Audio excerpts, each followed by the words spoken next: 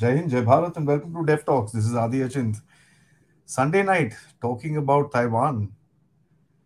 Chinese keep talking about the factor that we want to take Taiwan as if it's a fruit they can pluck from the tree. But, anyways, let's see whether the Chinese have the capability of taking up the challenge of Taiwan. Taiwan is not a small little island that we're talking about, it's a big place.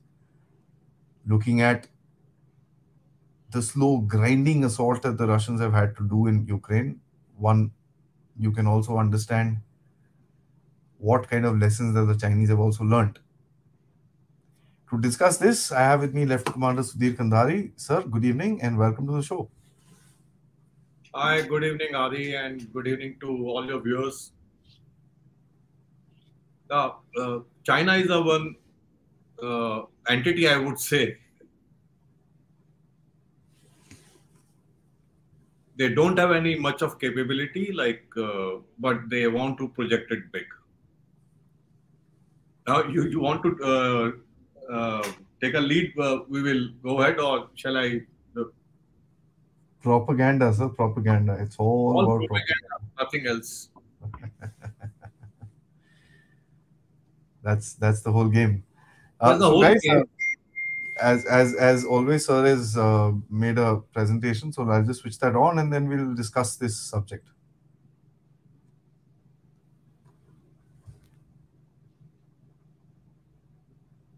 Adi, they are living in a fool's paradise, if you really ask me. you, you, know something, you know, we in daytime we're talking about this radicalization. Uh, radicalization and indoctrination is not jihadi, jihadism, it's communism also, where the entire top military leadership is so deeply radicalized and indoctrinated for communism that they only serve the party, they don't think about the country. And that's going to be a problem for them. The biggest factor in China, Taiwan, the Taiwan Strait is weather. Can you slide number one, please?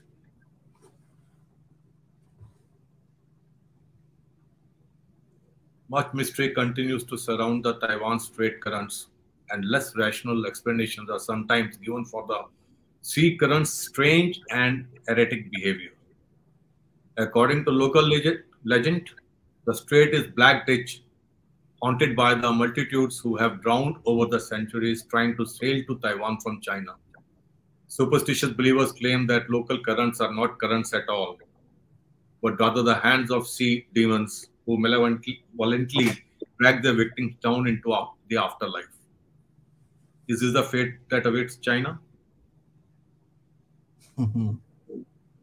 uh, I'll put it this way South China Sea is a death trap for US, and Taiwan is a death trap for, and Taiwan is a death trap for China.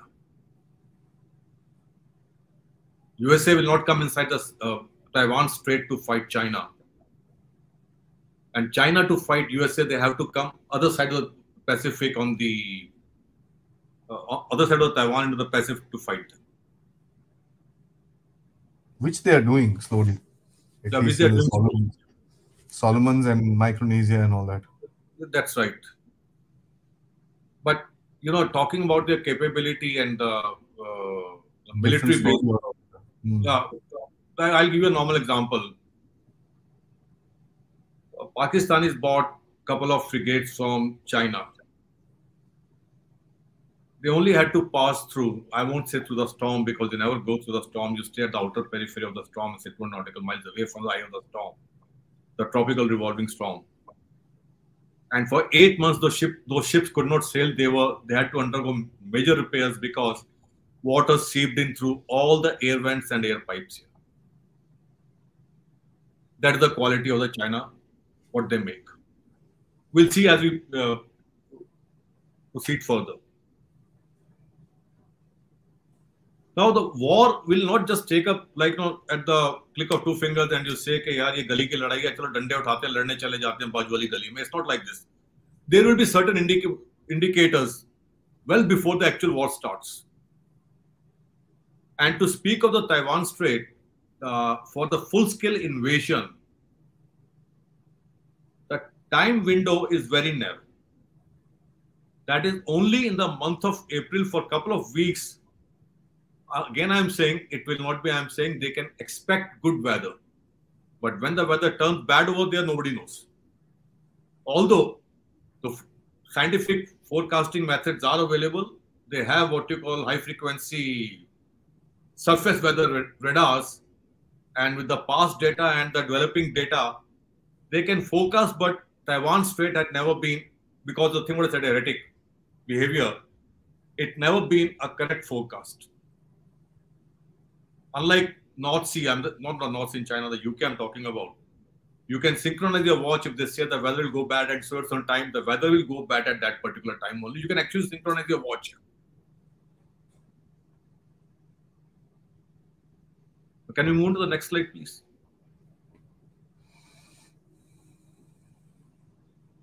This is Dr. Tsai. When she took over, she said that they will not come to any pressure from China. They have their own operational plan named as Guan, which is renewed as and when required, and annually they actually go through the entire plan and update it. They have simulated the following conditions extended blockade, Americans will intervene. Americans may not come for their help. They may arrive too late to make any difference. So they are prepared as Either of way. today. Yeah, Taiwan has the most robust air defense system.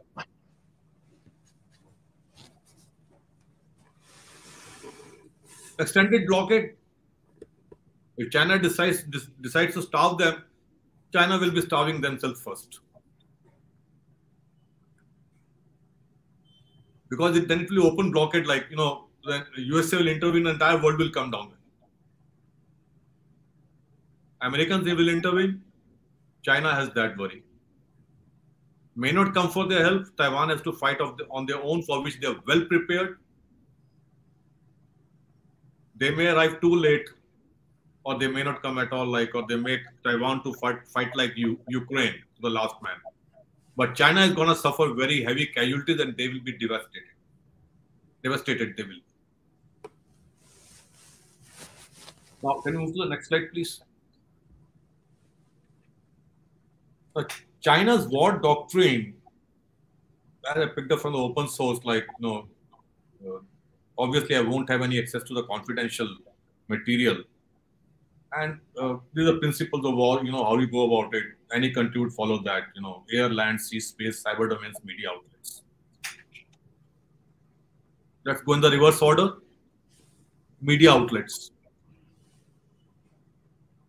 You know, uh, during daytime we were discussing about this, the way Chinese have, in, have infiltrated journalists, journalism, media, your uh, intellect academia, or to say the think tank policy makers, to the extent they have bribed politicians also, there will be one lobby who will, who will keep repeating that why should we go for Taiwan's help? Like, no, let them handle their own business.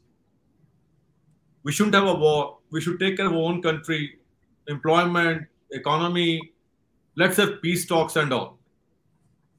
And China is very good in propaganda. They may try to legitimize their action through these, these very sources to say that what China is doing is right.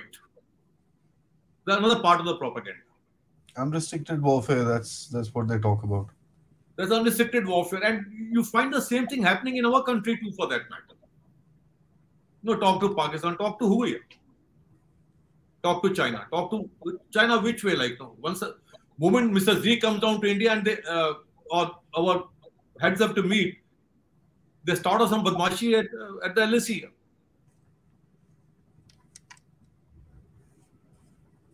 Cyber domains.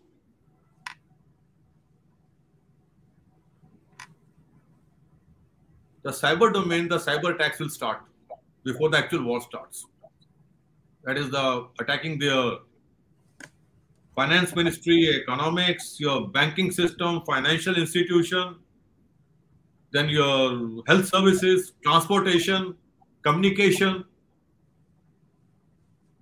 You can well imagine the entire government machinery will be in panic at that time if all the things are taken down suddenly.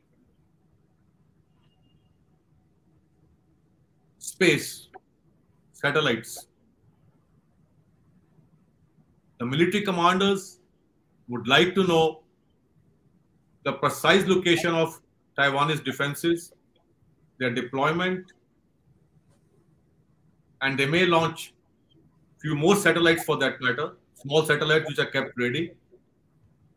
They will need the imagery before the war, during the war, and after the war to assess that whether the target which were to be destroyed accomplished or not, and to plan the future course of action. Land part of it, uh, Aadi, I will request uh, my senior General Narayan sir and General Shankar sir to talk about the land warfare in case Chinese troops do land up on Taiwan. But I can say that not much will be, not many will be left to come on the mainland because the sea is going to consume them. We'll come to the sea part later on, and uh, that's what we're talking about. We're going to talk about the amphibious landing. Air part, there'll be multiple airstrikes flurry of missiles flying over, hitting various targets. Now, here's the problem for China. Like the, you know, in Iraq, when USA moved in, they identified 60 individual targets to be destroyed, individual high-value targets. China has a list of almost five to six six thousand, and they narrowed, narrowed down to, if I'm not wrong, 600 to thousand individual targets when they have an inventory of 2000 missiles here. So the airstrikes will be there, the missiles will be fired at various targets on Taiwan, and the strikes from the air will continue from the rocket forces uh, and the air force before the actual landing, during the landing, and even after the forces are moved much in. Now, can we move to the uh, next slide? Now, let's uh, for a moment uh, talk about it. Why Taiwan is so much, why China is so much interested in Taiwan, and they had been saying no, it can be the ego problem also. That Taiwan is part of China for that matter.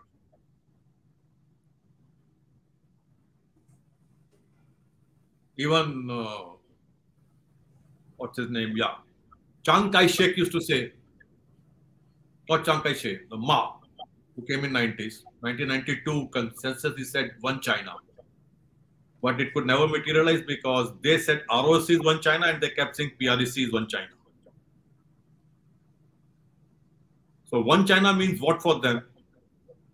That's the problem. That was the problem in 90s. And now when China says that Taiwan is part of integral part of China, their interest is not Taiwan. They have enough of mainland to meet their own requirements and the resources. They want to be controlling the entire chain that we have been talking about earlier, the island chain. And if they reduce, if they take over Taiwan, they are virtually cut off Japan. Japan, 15 to 20 percent by the blockade only, they'll reduce their what you call imports. 30% their economy activity and war making potential will be destroyed. And at 50% limit of consumption, would reduce to 50%, they will have to use rationing to limit consumption. So Japan's what you call national national economy and war making potential to collapse entirely, and this blockade can cause shipments to decrease and even create a famine within Jap Japanese islands. The moment Taiwan is gone, Japan is also gone. You can you take it from. USA will come. It depends at what stage they come. But Taiwan is not. Taiwan uh, is not taking but they're prepared in a sense like in case they come, fine. If they don't, don't, don't come, we have to defend. You know, one of the Mars, what you call uh, uh, aides, had made a statement that the more Taiwanese learn about China mainland, the more they hate them.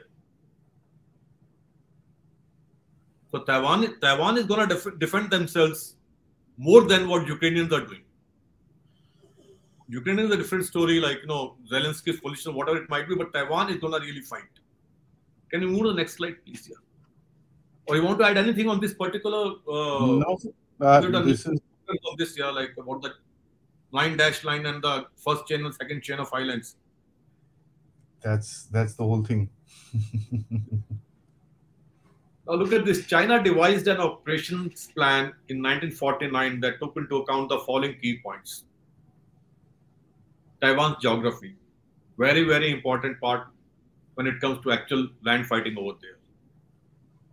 Enemy force assessment, strategic direction, guiding principles, overview of troop deployments, maneuvers, communication, logistic, air and chemical defense operations preparations. And most of it stands true today also. They could not do it that time in Kinmen Islands in 1949 were they smashed. Taiwan was militarily very strong as compared to China till 1969. I will not dwell much into the history where Stalin gave uh, aid to Mao and then Stalin got was quite angry with Mao with his actions. And then 1958 Korean War, Chinese troops were deployed that side, but USA moved in with the Seventh Fleet, and they placed nuclear warheads, nuclear weapons in southern Taiwan under the custody of USA only, not under the custody of Taiwan, to counter the human waves from China. Which they removed, if I'm not wrong, in 1974. They removed those weapons from there and uh, after that particular uh, US President uh, Carter's uh, that 1990s, I think, uh, Taiwan stopped getting the aid and the military power started coming down, and China grew with aid from Russia. Subsequently, George Bush and Obama they froze arms supplies to Taiwan quite for quite some time. So US had been flip flopping in their policy. But the TSA Act is very clear, and now they are again raised the tempo by said by saying that and repeating number of times that will stand by Taiwan in case China comes over that is only Joe Biden saying it. I mean, the White House goes around and saying, no, no, no, we, there's no change in policy. So that's playing diplomacy again. Now, like, ek yeah. se kuch bolo, dusre se kuch bol do. They call it strategic ambiguity. Strategic ambiguity. Yeah, that's right. Can we move to the next slide? Now, difficulties faced at that time and today are the same. That time they decided leaving the Chinese mainland at high tide and arriving at a time to attack Taiwan's beaches at low tide. Now, here the ambiguity will remain in every military commander's mind whether to actually go in at high tide or to go, at, to go in at the time of low tide. High tide will give you advantage of covering a less distance of the land, by 400 to 500 meters, and which will be very crucial for any frontal attack. Low tide, you have to cover that much of distance more. But the problem with the low tide is that if you go at low tide, sorry, if you go at high tide, there after the when the water is receding, first wave in has gone uh, gone in. Now the landing crafts have to pull out with the rising tide and bring in more. And you get cut off for some time. They can't do it. If your first wave is not correct, you'll get cut off. No, I'm saying after the first wave gone in, they have to bring in the second wave also, uh, and later on marry up the forces. But if you're gone at the high tide, and therefore tide tide starts reducing, uh, how this guy these guys will come back here? How they'll pull out for that matter?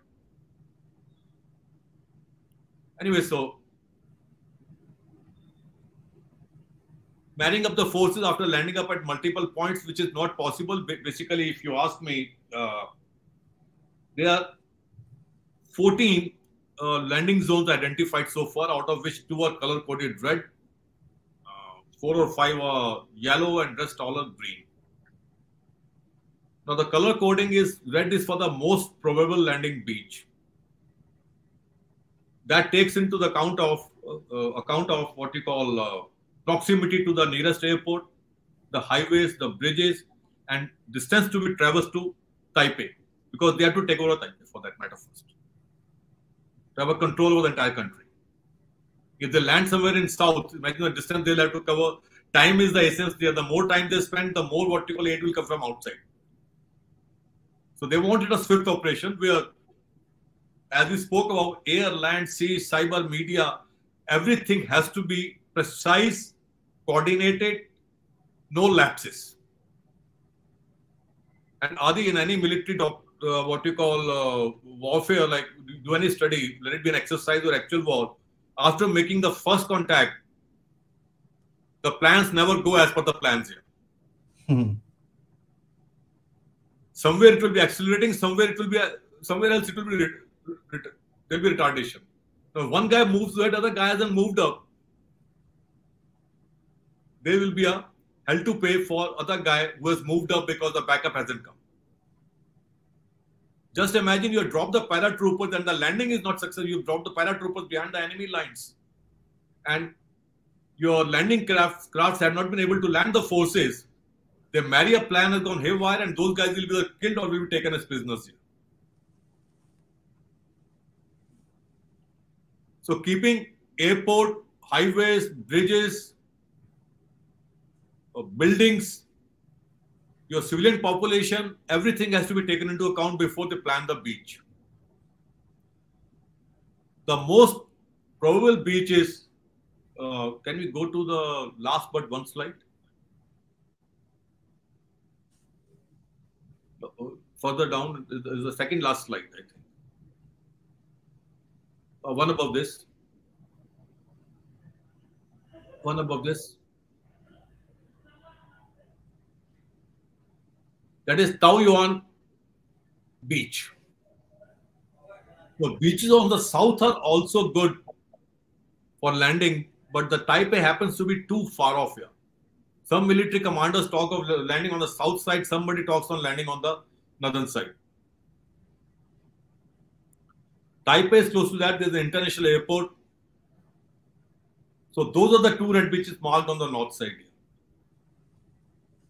Now those beaches are well defended. Not that the yellow or green will not be defended. They are equally well defended. It depends on the terrain and the other requirements, how much of defense is required.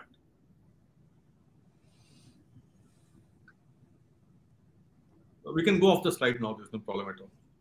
Now, talking about the landing part of it, there has to be a staging area and they will have to well, i'm coming to the weather part which is a major enemy for china. Not taiwan. Not their defenses. Is the weather. A staging area will be somewhere fujian from where they'll have to traverse i would say they would like to travel the shortest distance across. Because speed is also the essence time is also the essence. Big problem. yeah. So 70 to under 50 or nautical miles, depending on from where they are starting. Now here, just give it a deep thought. Before the landing, actual the staging area, the troop starts coming over there, they would have been training somewhere else. They, those troops, they will have to come down to staging area. There will be a whole lot of mass movement your number of air squadrons will be moved from point A to point B. Number of ships will be coming at anchorage and coming alongside inside the harbor. Now, those these are the strategic indicators when the military commanders will start telling the political leadership in Taiwan. Plus, Japan, Japan, and what we call USA is already there to give them satellite pictures that something is happening over there. They're doing in Ukraine also, for that matter.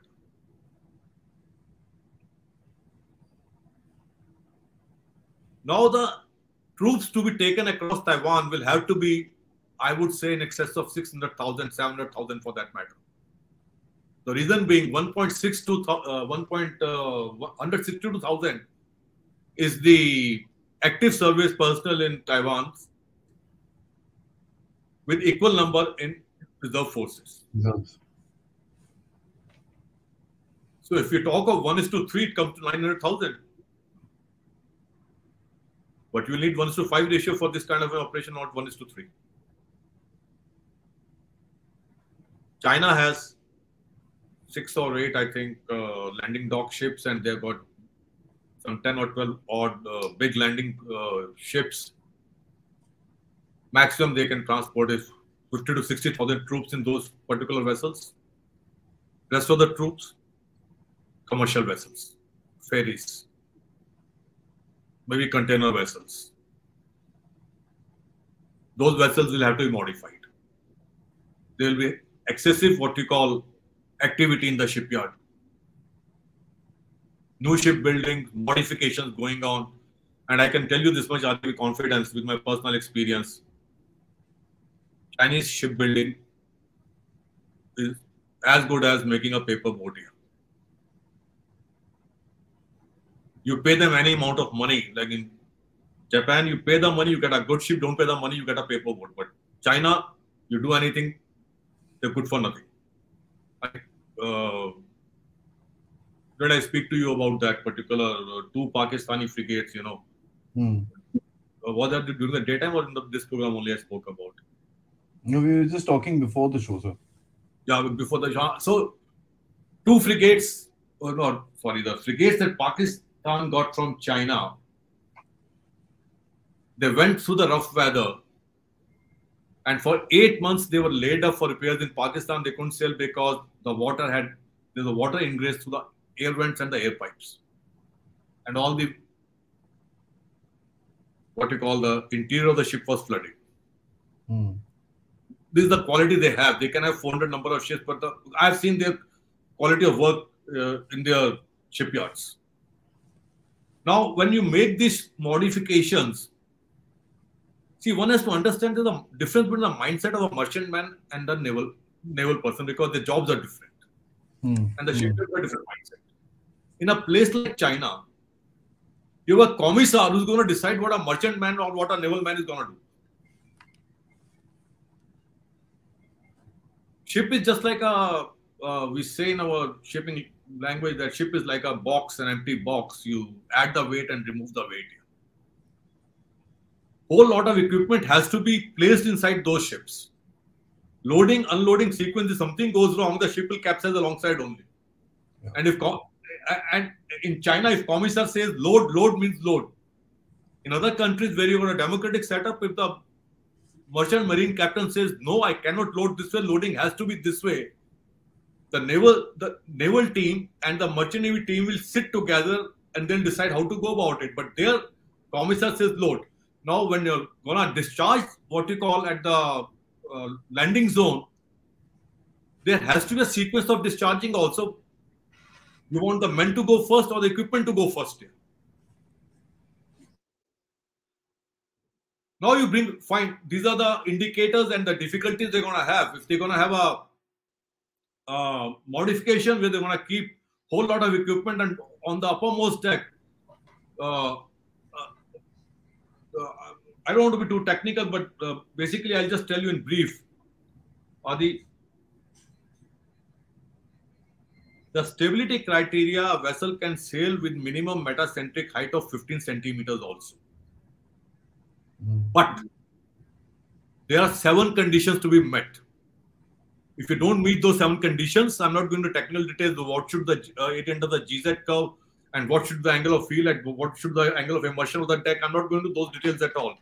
If you're not meeting that carry, uh, criteria, the vessel will capsize, maybe alongside, or moment she comes out of the harbor, she gets the first adverse wave hitting her.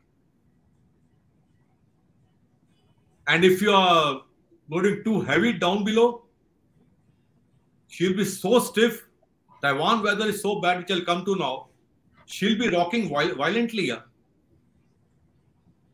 I can quote number of examples when rough seas, vessel metacentric, what is uh, uh, metacentric uh, height was too large, vessel was too stiff.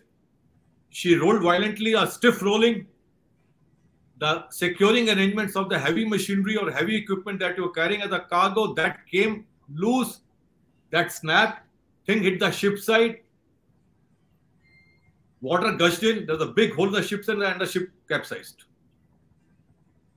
That is I'm talking of when you have somebody to listen to and you say, I can't do it. Here the commissar is going to tell you what how to go about it. Because Beijing will tell that guy, do it, and he'll have to do it. Yeah. Now, coming to weather part of it in the in the uh, in the Taiwan Strait, uh, mostly the significant wave height. Now, when I say significant wave height, uh, don't go by the dictionary meaning of significant wave height. There's a technical thing, you know, used for that matter. That is the uh, earlier it used to be the mean wave, the highest or the third wave used to be taken as a significant wave height, and nowadays it is four times the standard deviation of the surface elevation, elevation from the surface. It's a bit technical. I'm going to that. That, that is zero to five meters. So zero is just a figure, but it will never be zero. I can assure you that much. That's only to talk about that because the standard deviation of it moves from zero to outwards to five side here, maximum five limit. Now, coming back to the weather part of it, you can expect in layman's language throughout the year, barring I said few weeks in April, minimum weight high, wave height three meters. There could be more than that. Winter's time, you have the weather coming down from up north from the Siberia, and the monsoon's time, you have the weather coming up from the south. Three meters wave, direction north or south, you are transiting across the strait. Waves are hitting you from the side. You are going to bring in artificial docks, artificial piers, artificial berths for that matter, pontoons carrying amphibian tanks. When you're going to go in with 600 to 700,000 troops, minimum troops, I'm saying, think of the military equipment required, logistics required, food, ammunition, rations, and everything to be standby on the other side to bring in and to have a standby plan B for that matter. It's going to be a major, major operation, and Mother Nature is unforgiving thereafter. Assuming everything has gone fine, Taiwan has not fired a single shot they're idiots. They will let you cross the uh, Taiwan Strait peacefully when they have their own uh, cruise missiles. They have by the name Hsiung Feng 3. They have. They're not going to use it. They're not going to fire the artillery. They're not going to carry out any airstrike because they'll be hiding somewhere. Let's assume that. you come to the beach. There, the beaches are well defended they will have sea mines. Gone are the days when you were depending on the contact mines or the slag line mines, you know, uh, those kind of mines, or the uh, counter the counting mines. Uh, nowadays, what they have is almost 7,000. There was talk of 7,000 mines. They are influence mines, acoustic pressures, suction reading mines. They are programmable mi mines. You can program the mine with signatures of the vessel propeller noise and the machinery vibrations. Moment the mind reads that, it blows up. Now somebody will say mind clearance will be there. Are you going to bring all the minesweepers and expose them to the enemy fire from the Taiwan side? What are you going to bring in first? They're going to have a uh, clamshell traps. You know, they open at 45 degrees like this, and they want to tear apart the sh- ship's hull. They're going to have spikes, steel, uh, what you call uh, spikes, which are at the 45 degrees angle. Fishing nets. Um, most primitive thing, fishing net. Once your propeller gets entangled into that, you cannot move. Mm. Then you're going to have thereafter uh, container trucks sunk over there. You're going to have a sunken ship placed over there. And in any case, if you go off Taiwan, the area is littered with the shipwrecks. Remember the first slide. Many of people tried to cross it. Nothing happened. They're all the wrecks of 49 time when they tried to come close in the fishing, fishing wooden boats. These are talking of the sophisticated way of warfare, defending the beach. Mm. Well, in the war, everything is fair. What Taiwanese have done, they got a network of oil pipelines into the water from the beach. Which they'll open and ignite it at the last moment. Now you'll have fire on the surface. They've already stocked up 200 liter drums, which they will fill up with gasoline and explosives, move to the bottom, floating just three to four feet below the surface. Mm. Detonate it and see the uh, fun after that. You know, something in the Navy, we carry out amphibious exercise.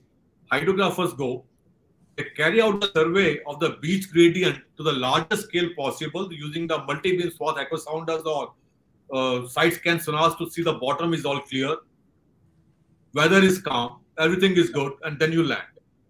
Here you're talking of landing in unknown place because Taiwanese have constructed many number number of what you call uh, breaker walls, fish farms.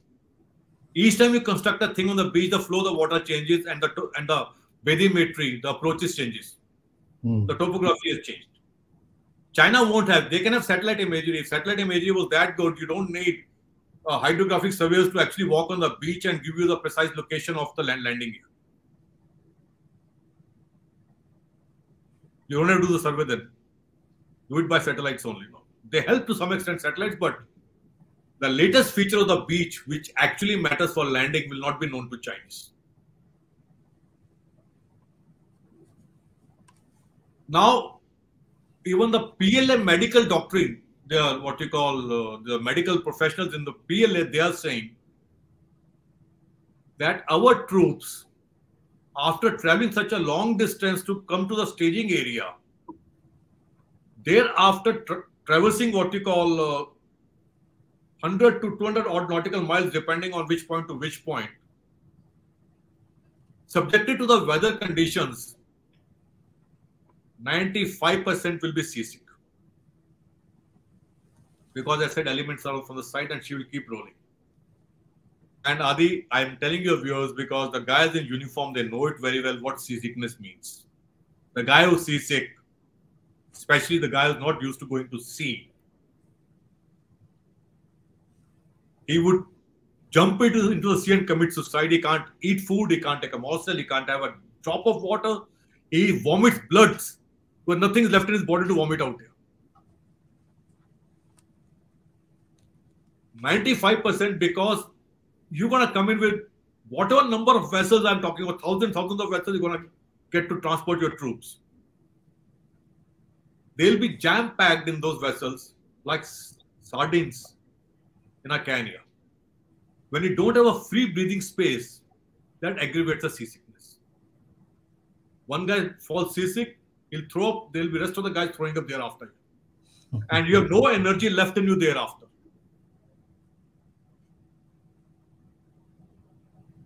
No, I'm talking about the guys who are uh, not in uniform. I'm telling you, seasickness. If, if they haven't heard of it, please ask somebody who's. He'll tell you that I'll do anything in my life, but I'll never go to a ship.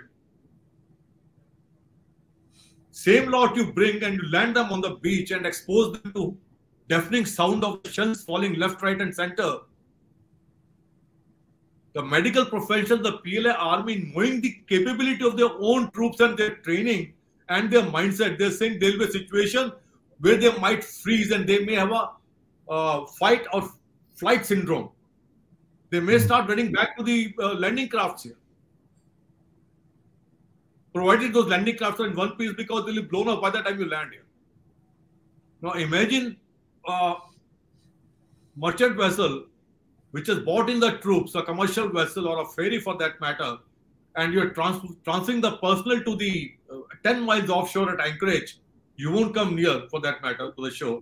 10 miles off, you're landing them in the, uh, putting them, transferring them in, uh, into the landing crafts.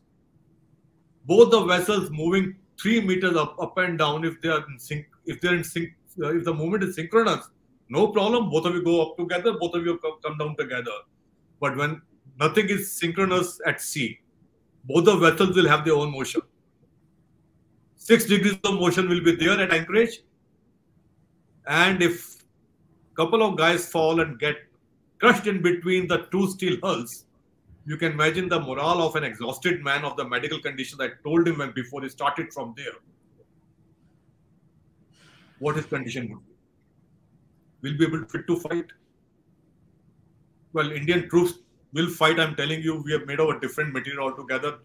Chinese are a different, uh, no kind of they know their they know their own training and training pattern and everything. That's why they're a bit wary about landing the troops on the beach.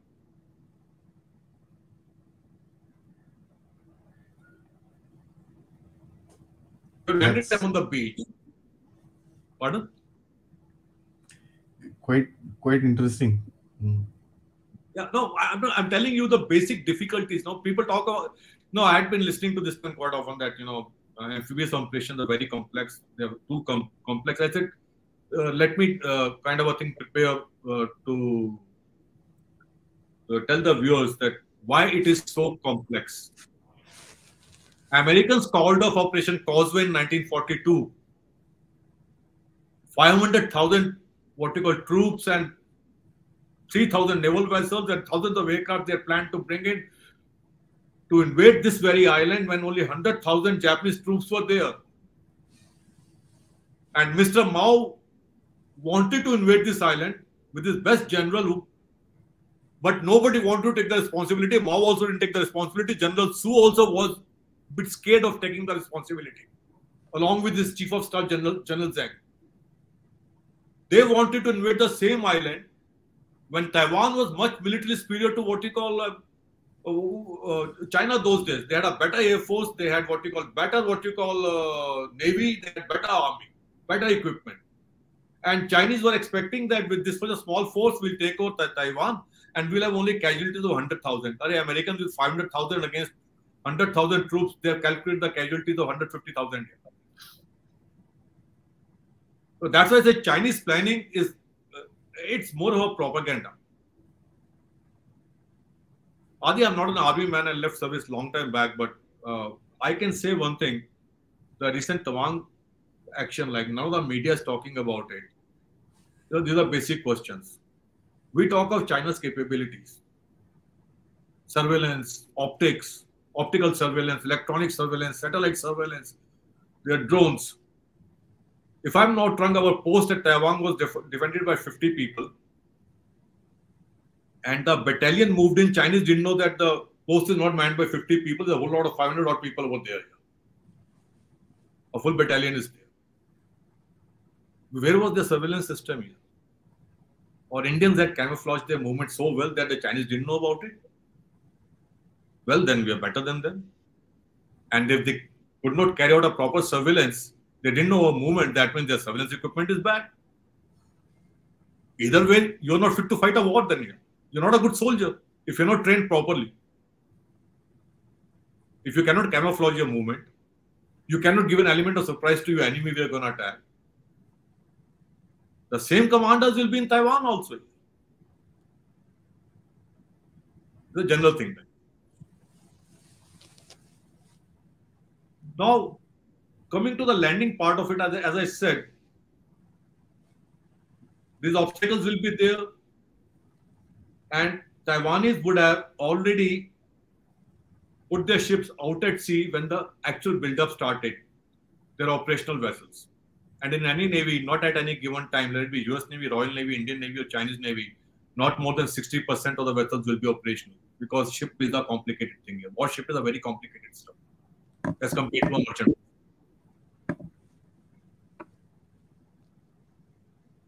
The operational ships and submarines will be out at sea what will be there inside the harbor? Ships which cannot sail. When the war is imminent, you know there's going to be war.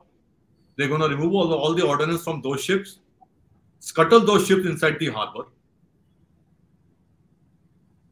in the main channel, blocking each and every passage for any ship to come inside the harbor also.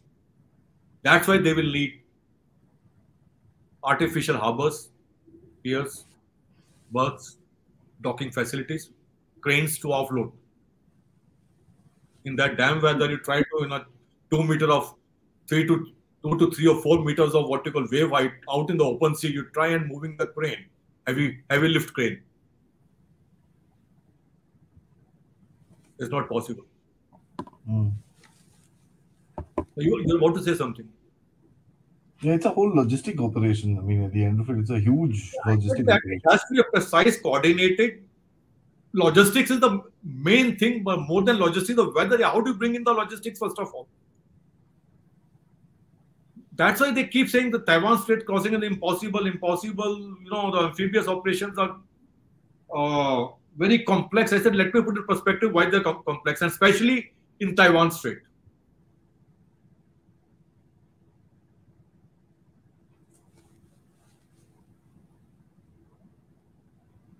World War II, Normandy beaching was successful. Everybody talks of Normandy, Normandy beaching, but nobody talks about the beachings which actually failed. Dieppe, France, another beaching in uh, uh, almost 70% of the Canadian force was wiped off in Dieppe and the rest all, all were had to surrender. Number of ships destroyed here. They couldn't land it properly. Sicily, failed landing. World War One, Wake Island, failed landing by Japanese in the first attempt. After their two destroyers were sunk, they went back and they came back again. People may talk of Falkland. Britishers never landed the landing crafts. Hmm. They went by the inflatable boats in limited numbers.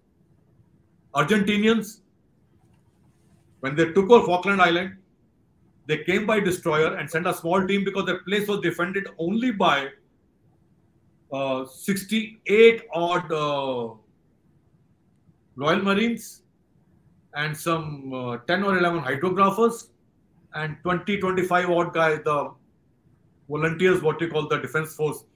And there was a very brief fierce fighting and then governor surrendered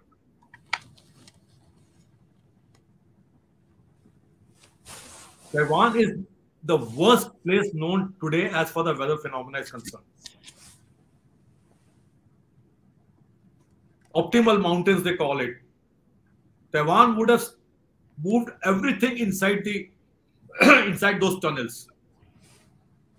They'll only bring it out when China is actually when they actually have to actually fire on them. So if you talk of preemptive strike, when the build build-up is taking place, they would have moved. They already moved in. They stay, they stay in state of readiness.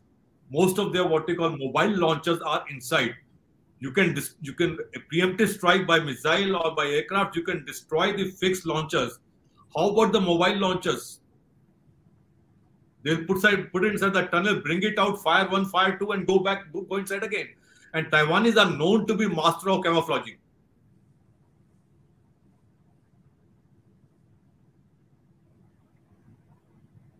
and chinese uh, they are they are calling mercenary pilots to train their own pilots here uh, I don't know what kind of air force they have. And uh, Chinese, what you call uh, crew at sea, the merchantmen I've seen. One guy come, uh, uh, uh you come to the moment you come to near Panama Canal that this guy is coming to the mouth of Panama Canal. This guy is a Chinese captain over there, a Chinese vessel. There is a radio chatter all over the place.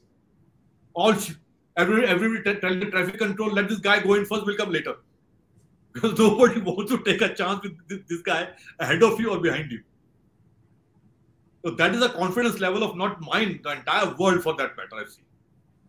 For the Chinese seamen. And at sea operations are pure seamanship, nothing else. I've lost track of where I was. Can you go to the, those slides again? I, I went on speaking like in one free flow. No, next slide, please. Now, this slide is basically again telling you, you know, how the movement will take place, which I've already spoken about here. The indicators I talk of, strategic indicators, when we have the missile, uh, missile, whatever batteries being moved from point A to point B, wherever they might be in different theaters. By the way, I've taken this data from uh, one of the very renowned researchers uh, by the name Ian Easton from his book. Now, this data uh, is four to five years old. Basically, what I'm trying to tell the viewers is that, you know, when you have these this kind of movement taking place, you cannot hide it. There will be human intelligence. There will be satellites monitoring you. There will be a first indication they're going to carry out a carry out a. Uh, they're preparing for the invasion. Now, here's the thing the strategic indicator is there.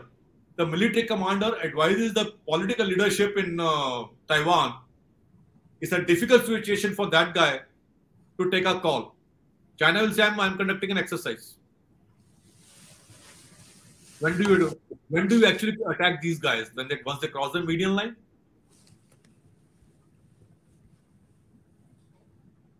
If Taiwan attacks first, China will say, I was about to conduct a uh, amphibious exercise and Taiwan has attacked me. and the entire narrative world over will change. Now you make it too late, then Taiwan is at disadvantage. Can you move to the next one? Well, before we talk about the invasion watch list, what we call the indicators, you know, we already spoken about logistics stockpiling, there will be blood drives, def defense industrial surge, port expansion surge, road, road and rail expansion, your airport hardening, shipyard production surge. We, I already spoke about the construction required, modification of vessel requires. Fishing fleets, commercial ships will have to refit it. Now, before these things actually happen, Chinese are badmash, like Americans only, basically. Both are badmash as a matter of fact. China may attempt assassinating top leadership of Taiwan.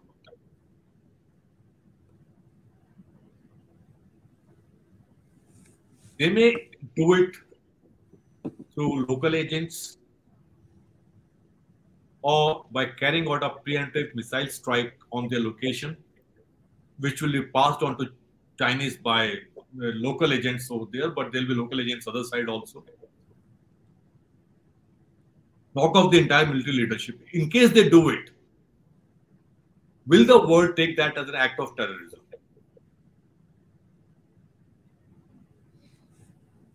If Chinese fire, if Taiwan fires the first shot, then the narrative will be different. So Taiwan will have to wait for China to cross the median line with the amphibious task force.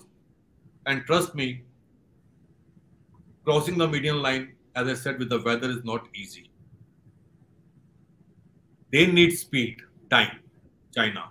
It will not be available to them because they'll be towing artificial harbors, artificial piers, pontoons carrying amphibian tanks and trucks and other equipment.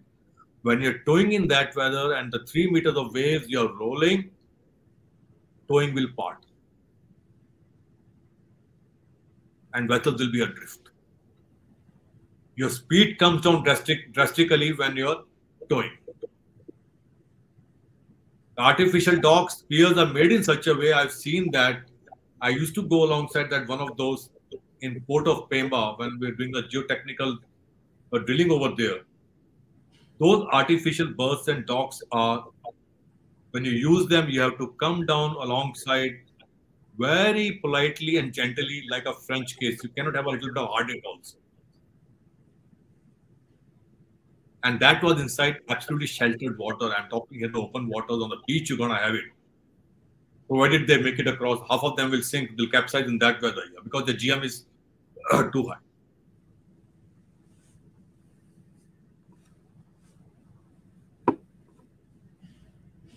Now, can we move to the next slide, please? There will be recon intelligence ships, aircraft activities, emergency satellite launches. China will launch a few more satellites, as I said, for imagery human intelligence operations, there will be a lot of radio chatter for that matter and communication chatter. That's the first sign of something is going to happen. Diplomatic uh, messaging operations worldwide with special focus on United States and Japan. Nuclear blackmail. Media and personal contacts. As I said earlier, academic intellect academia and journalists will start saying, what if China uses nuclear war? We'll be call, calling, there'll be a World War III as people have been talking about Russia and China, uh, Ukraine war also. That fear mongering will start. That's what China wants exactly.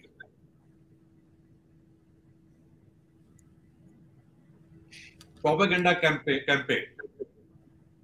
Now you see the propaganda is a can be a two-way also. I'll give an example. China, Chinese propaganda we, we know about. Here you have Taiwanese and Chinese army face to face fighting with each other.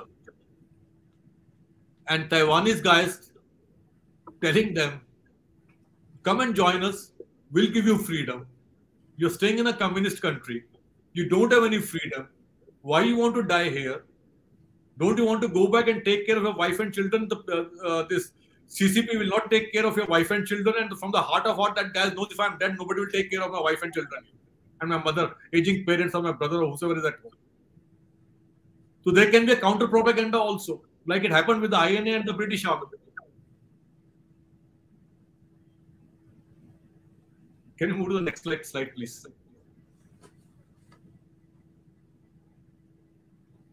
All these points I have spoken about loading, gathering ships at the areas in advance and wait offshore in dispersed groups, dock or anchor, load at night, gather for the crossing is gonna be a one humongous operation. Adi, it's not gonna be that simple. Mm.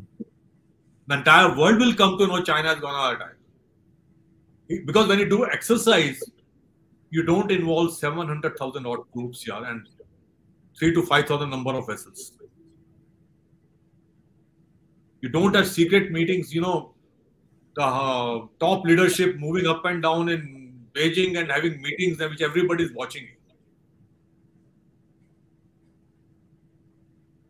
As I said, disembark and form up all group location 10 to 35 miles offshore here in that weather, in that kind of a sea, uh, in April also, I'm saying you'll have two to three meters of wave here, 10 to 35 miles offshore. Coming down the scrambling net when two vessels are moving in opposite direction, and both the vessels have got a six degrees of movement to go around, go about, you're going to have number of casualties there only, and the guys standing on top will refuse to go down on the scramble net. Can I have the next slide, please?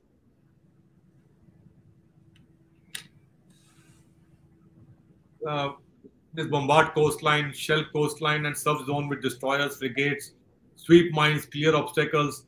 I've already said that if they're going to do all these things, when they're going to land the troops here, you're going to send the engineers first, the Marine Corps first, or your crack team first, You've already landed troops behind the enemy lines, and you know at the airport you've got your what you call uh, airships, helicopters, aircrafts dropping paratroopers, and here if the landing goes wrong, everything is not synchronized in time. The entire operation is a mess up. Can we move on to the next one?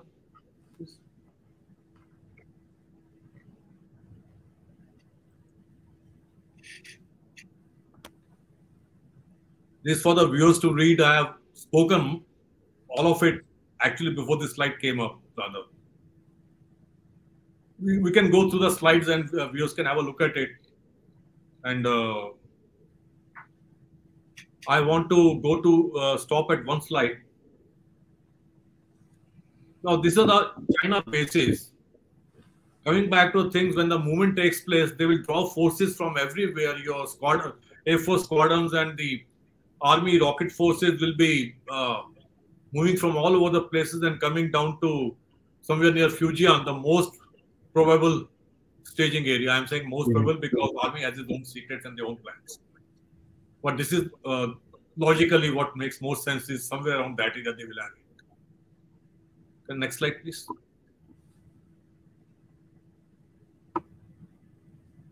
Now, this Penghu Island.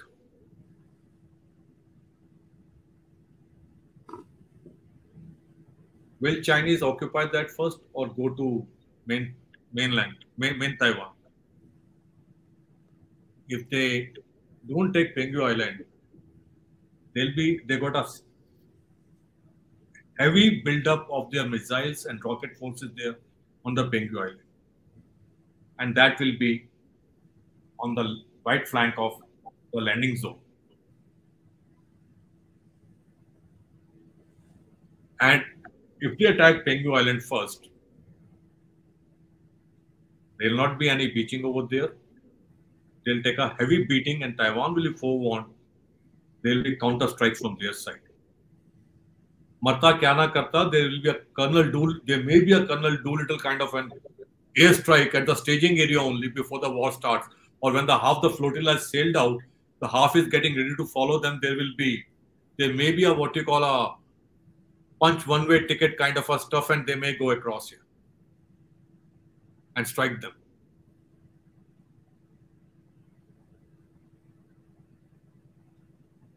That's Quite all. possible.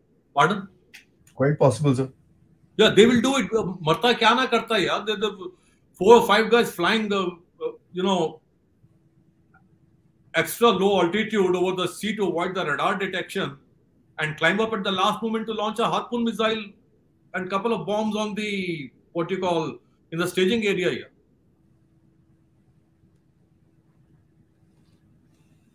With all those defenses on the beach and the weather part of it, I'm talking of the defense of the beach, you know, mines and the counter strike by the counter counter assault by the Taiwanese troops will come later.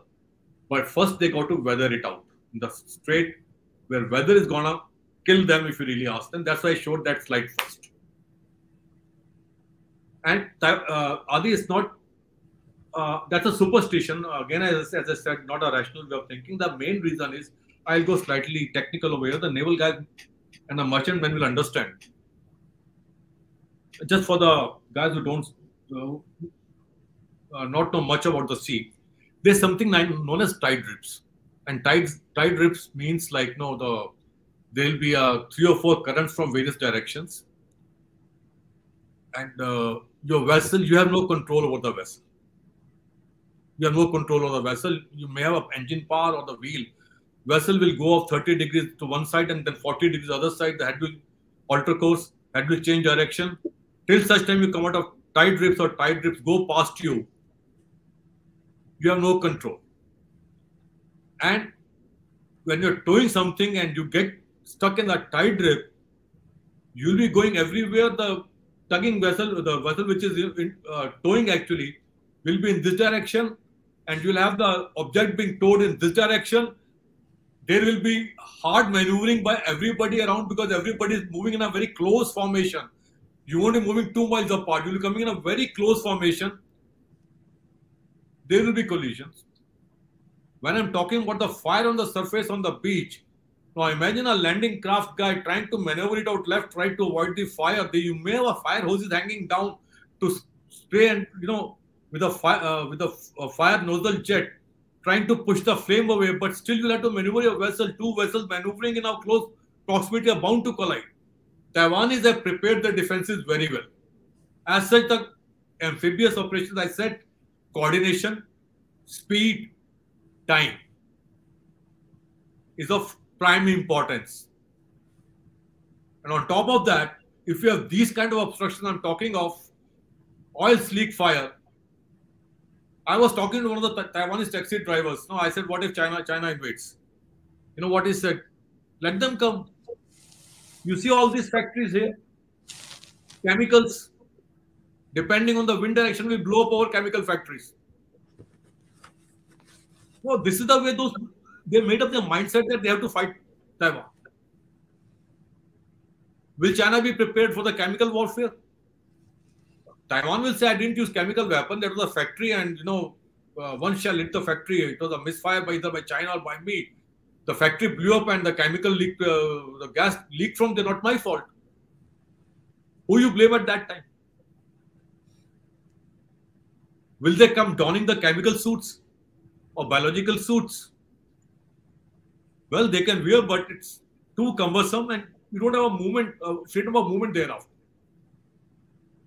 So that is the way those guys are thinking.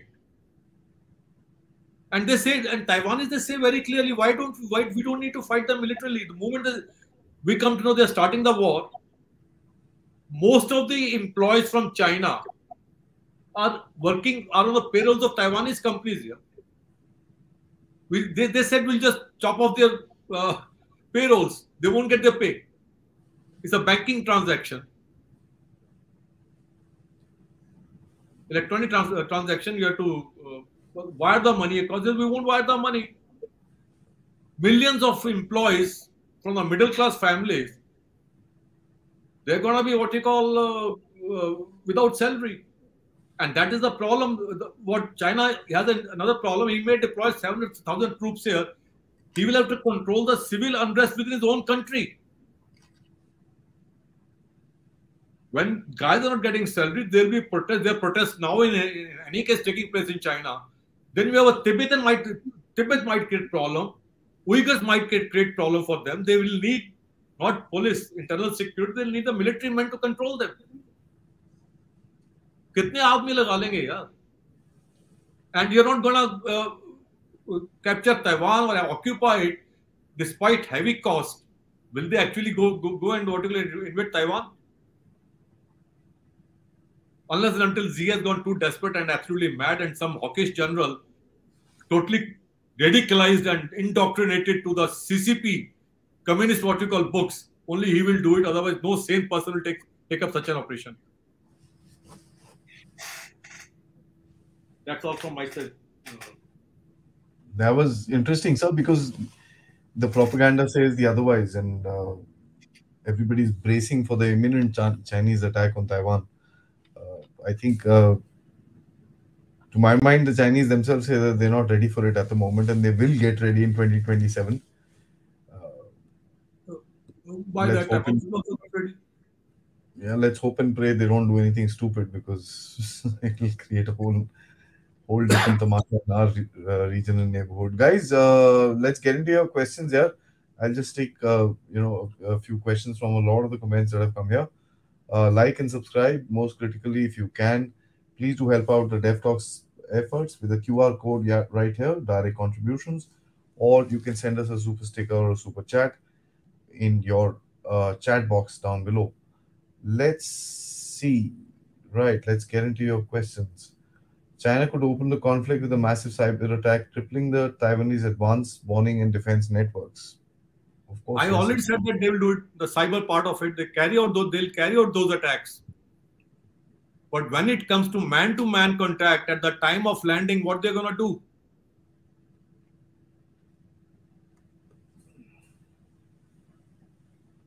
Handle radio contacts when you fight in a close proximity in groups handle radios are more than enough. Moment that, those are the precursors. I said the cyber attack will be the precursor. What thereafter? China will have to come and invade Taiwan. It will be like Ukraine only finally.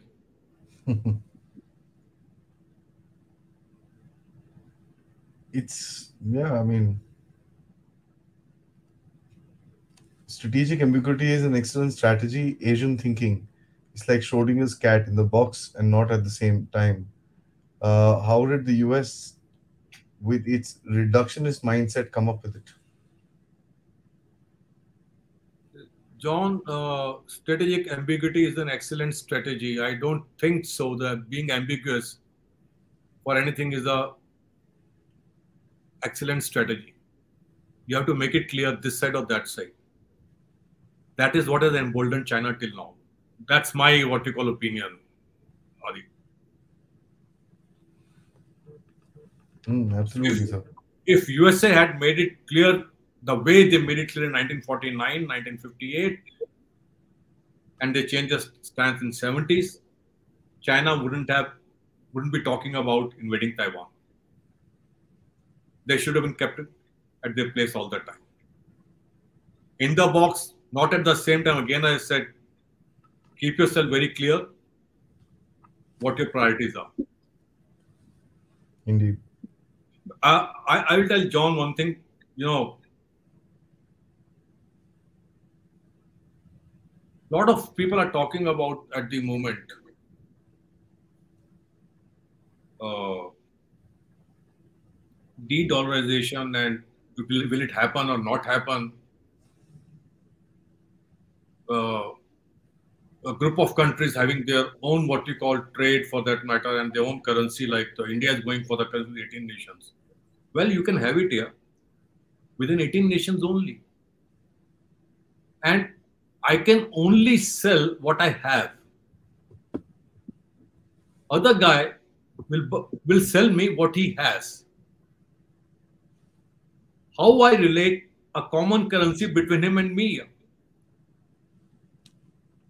it is something like a mother mother-in-law, a group of nations, like a mother-in-law and four or five daughter-in-laws in the house.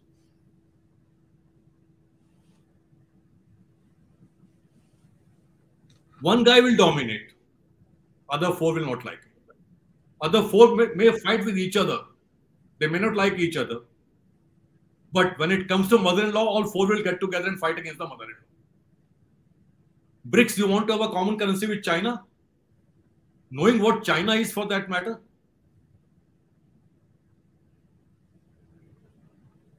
What is the datum for the currency for that matter? Don't talk about euros. That was a different thing altogether. Here we're talking of imports and exports within, for example, BRICS. उसका datum क्या बनाओगे यार currency का पहले ये बताओ मुझको will you allow china to dominate all the countries But the BRICS, BRICS proposal, I believe, is a little different. It's an equal equal share gold base. So gold based. Coming to the gold part of it.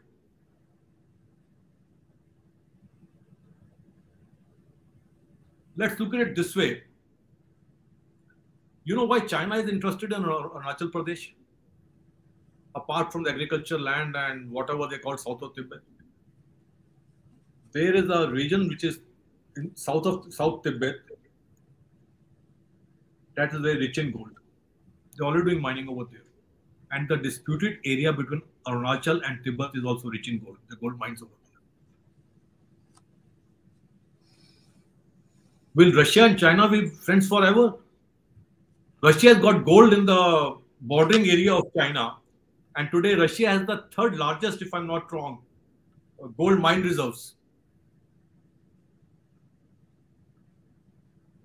India, we don't have that much of gold as compared to China. So our currency will be down. Why should we agree to that that particular uh, gold-based datum for that matter? China's economy is going down. Their GDP is down. I would say that let the uh, GDP the uh, what you call base for the uh, currency datum just my thought, you know, the way I'm thinking.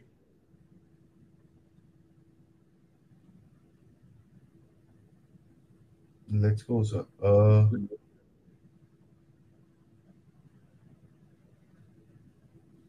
sorry, I'm just, yeah. The issue is with so many comments, you get lost in the series.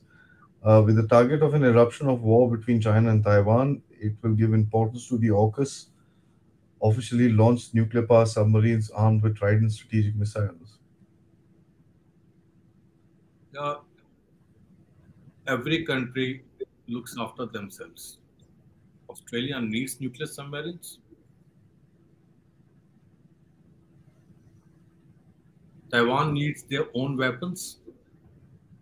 Now, I believe there are some 60 odd billion dollars uh, pending weapon sale is being cleared. Not cleared, rather, which was kind of a thing. It was pending, and that has been they started the delivery to Taiwan. AUKUS part, of it. Australia is the one which is without a nuclear submarine. I there was a deal between US and Australia. They're getting a nuclear submarine. Every country looks after themselves. And we had been discussing on this channel that AUKUS is more for the Atlantic side, not for the for this region. And yesterday, General Narayan's program I watched this morning.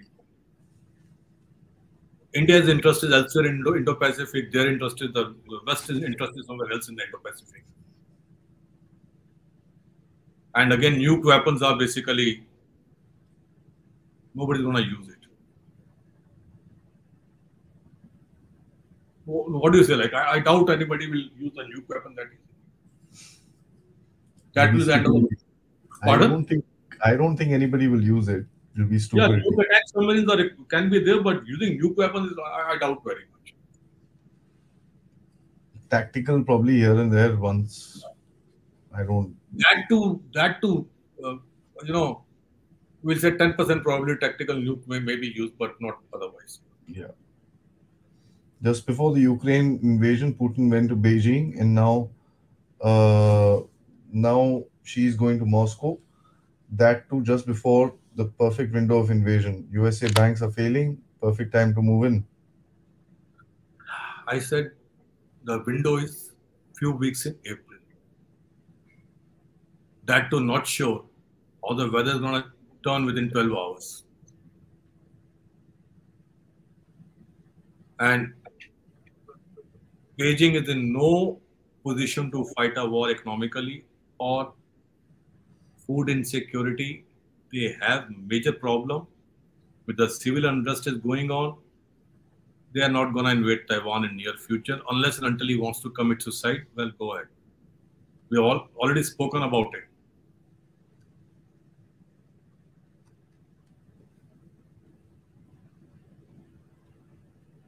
Forget C6er. I took a seven day cruise for the next five days and kept tilting left and right by five degrees. That was a funny one, so I just thought I'd put it up. Uh, so, as we are assessing the difficulty for China to invade, even Chinese would have known by now. Do you think they would, might have some out of the box strategy to outflank everyone? Yeah, you can have any, any out of box strategy, but how do you counter the mother nature, the weather part of it?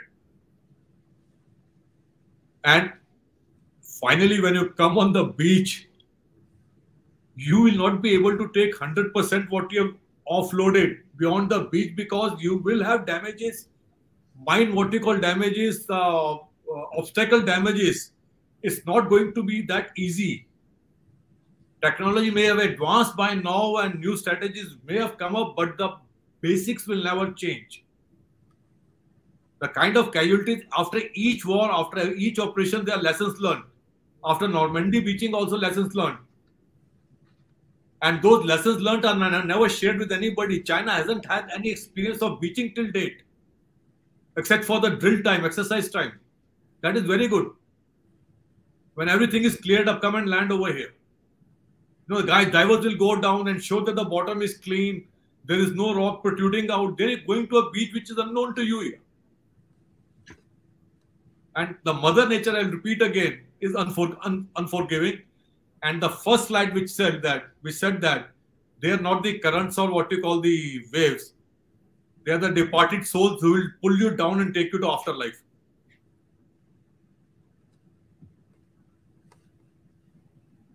That's true, sir. Um, will US be a party to China Taiwan war directly, or they will still play proxy? If this war escalates and make China to attack the US territories, it will lead to NATO Quad to jump in. Too far fetched, Vaman. Vaman, before Sir comes in, I'll just say that's too far fetched. Well, it's a very good question. Like, you know, will US be party to China Taiwan directly, or they will play proxy? There was somebody who asked the first question, like, you know, ambiguous strategy part of it No, they haven't attack-. Pardon? China to attack US territories is No, that's not. The USA has kept their cards close to their chest that what they're going to do next. If China has to attack US territories, China will have to pay hell thereafter. Preemptive strike we're talking of. Look at the number of bases US has. Yeah, how many places they're going to neutralize it? I think uh, I have that slide. Uh, the last Yeah, slide, if I'll- you can show. I'll just put it up. Yeah.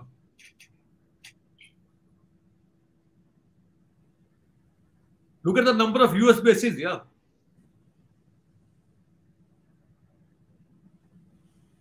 वो कितना मार लोगे यार कच्चा चबा जाएगा ammunition ammunition not infinite and as far as taiwan is concerned i have a strong feeling that they will make taiwan to fight and give china a bloody nose because taiwan is not ukraine they're two different war scenarios altogether as such taiwan has a very robust air defense with Patriot missiles and Sky Bow 3 missiles. If they supply them more missiles for air defense and cruise missiles, as such, they have Harpoon on mobile launchers, which are anti ship missiles. And Harpoon is the one which sank that, which is that Russian uh, flagship, yeah, which Ukrainians sank. Moskva. Yeah, allegedly hit the Moscow. Yeah, that was Harpoon missile only. It may be subsonic, but the missile is beautiful. You cannot intercept it that easily. China preemptive strike may destroy all the what you call fixed launchers. How about the mobile launchers? Yeah, he fires one and goes back inside the tunnel again, and comes out to fire second and goes back again.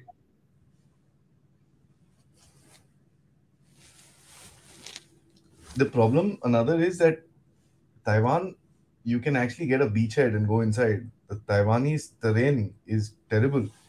They've got hills and mountains and Taiwanese armies will move to the mountains. That's why I said the land battle part of it. I would prefer that you know, uh, General Rajiv sir, General General Shankar sir, uh, they talk about it. Uh, Taiwanese will go back to the mountains and start the guerrilla warfare from there. Yeah, absolutely. And what China is what China is expecting here, you tell me one thing: they're going to destroy the entire Taiwan and suffer the similar kind of damage on the mainland and what was China's economy at that time? 70% of their business on electronics is based on based uh, is operated from Taiwan. Hmm. तो तभी तो उनका वो ली Kiang बोल रहा है अभी पिछले एक हफ़्ते में कितनी बार बोल, दो बार बोल दिया उसने there our blood brothers why we should have a bloodshed वो चाइना की बात का कोई बिलीव नहीं कर सकता कि आज ये बोला कल क्या करेगा but at least that words have come out and words don't come out till such time you have some thought, thought over here. Yeah. एक लास्ट ले लेते हैं सर हाँ uh, will Taiwan join China just like Taliban or uh, at or after the declaration of war? 50% of Taiwan votes for pro-China party. How can we be so sure? Push come to shove, मेरी जान मुझे प्यारी. Yeah, Taiwan is like I tell you, the only way they can China can take over Taiwan is that if there is some red leaning political leader and he has a following. And Taiwan, that generation is going off the newer generation, they don't consider themselves to be Chinese, first of all.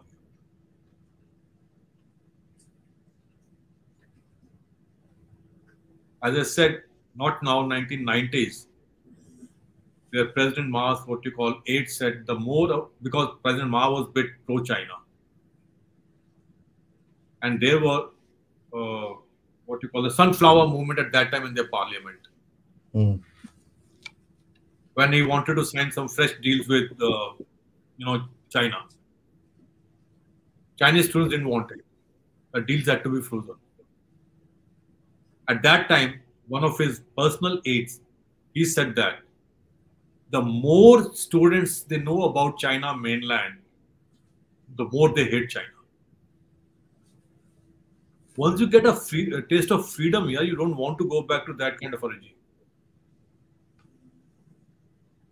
And now, even if China says one China or one one country, two systems, nobody is gonna believe them after seeing what has happened in Hong Kong, and that's why Taiwanese are more scared now. अगर मेरी जान पे आ गई है तो they won't be preparing the defences that way and USA trust me will try its best to not let China go towards uh, Taiwan go towards China. As I said, if that goes, Japan is gone out of their hands. Japan will have a major problem. They'll be subservient to China. Philippines will be subservient to China. You have lost whole lot of island chains over there. Yeah. And USA won't let it happen under any circumstances.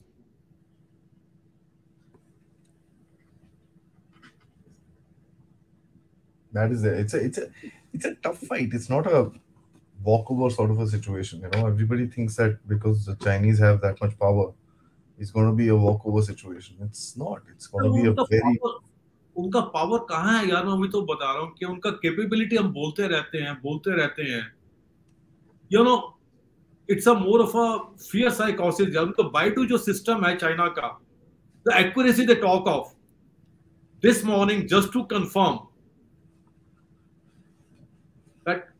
I had doubts about the Chinese capabilities. I said I called one of my uh, shipping captains who was junior to me. I asked him, यार ये Baidu जो है तेरा कैसा अभी आ गया कि हमारे डीपी फ़ील्ड में कि नहीं because there we need accuracy of dynamic accuracy of one two three centimetre दिया he is laughing and saying कि सर क्या हो गया आपको आप कोई फ्रेंचाइज खरीद रहे हो उसके लिए क्या कोई नहीं लेगा लेगा सिस्टम कहता बाइडू की क्या एक्यूरेसी है कहता है China can claim to shoot a missile, to put a missile through bloody uh, rat's rectum in with Baidu system, but the, see, I tell you the two ways of accuracy. One is the absolute accuracy, one is the relevant uh, relative accuracy.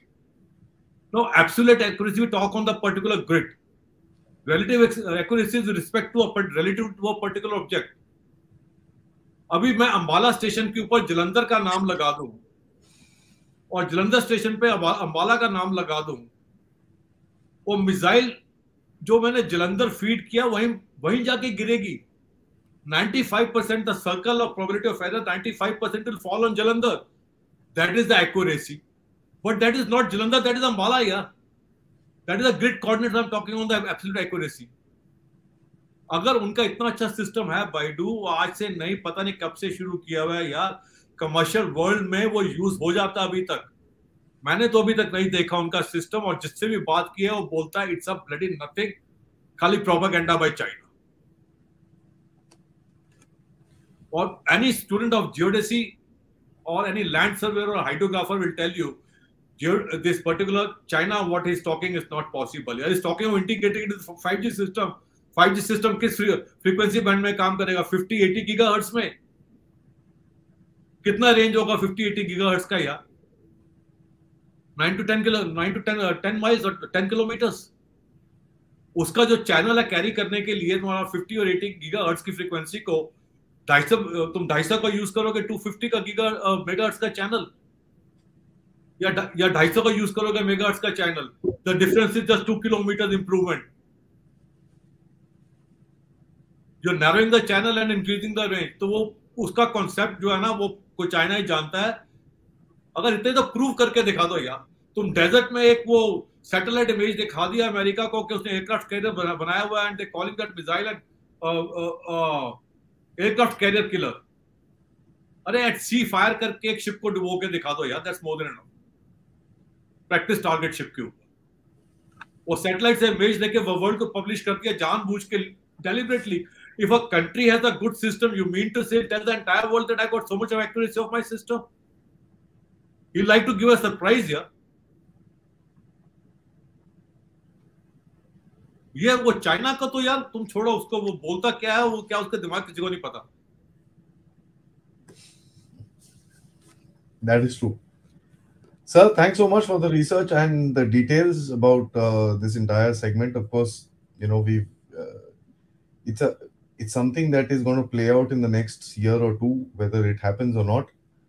And the rhetoric is going to be on. There is just no question about that narrative चलता रहेगा बाकी सब कुछ देखते हैं weather actuality में कुछ होता है कि नहीं so we'll keep tracking on it and we'll keep seeing if we can come back with an update about this situation and a lot many more till then sir as said once again thank you so much for the lovely lovely uh, uh, uh, details and uh, research that you've done till next time sir and everybody else before i sign off please hit the like button subscribe and most importantly, spread the word.